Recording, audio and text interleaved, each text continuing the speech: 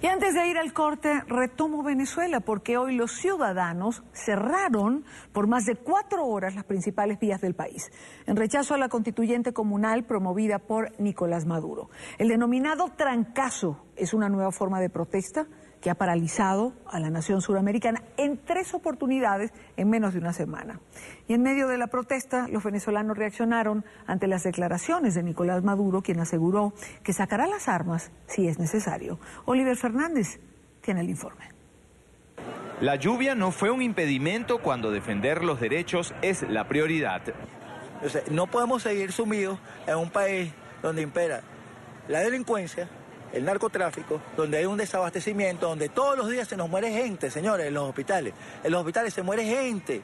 Para el que no lo ha vivido de cerca, yo lo vivo de cerca. Frente a mi casa hay un vertedero de basura y yo veo gente comiendo, venezolanos, hermanos míos comiendo de la basura. O sea, eso no, es, eso, no, eso, no es un, eso no es democracia. Mientras el pueblo se adueñó de las calles, en estos 89 días el presidente Nicolás Maduro con esta amenaza reconoció públicamente que perdió el respaldo popular.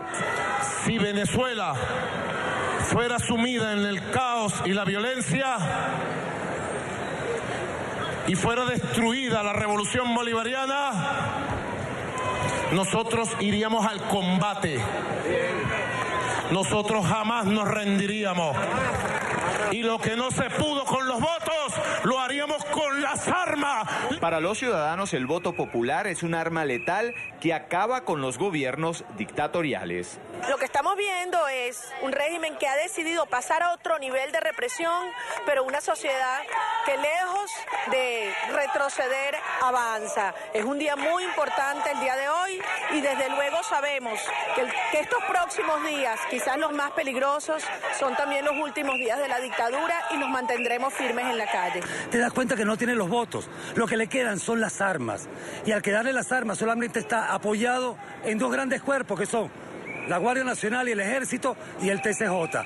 Pero sin pueblo no hay gobierno. No hay comida, medicinas, seguridad, tampoco respeto a la Constitución, pero sobran los motivos para cambiar de presidente. Faltan 32 días y si la constituyente se da no vamos a tener futuro. Vamos a tener que salir de aquí y eso yo no lo quiero, yo me quiero quedar en mi país. Peor que mi hijo se, se tuvo que ir de Venezuela, se tuvo que ir a vivir a otro país cuando aquí profesional, teniendo todo en su casa, tuvo que salir de Venezuela e ir a trabajar como un obrero, siendo él un ingeniero y todo eso. Por eso es que estamos aquí, porque no dejamos que no, no vamos a dejar que nos los arrebaten. Según las encuestadoras más importantes del país, más del 90% de la población pide un cambio de gobierno.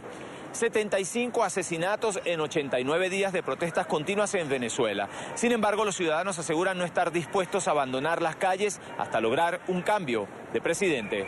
En Caracas, soy Oliver Fernández, NTN 24.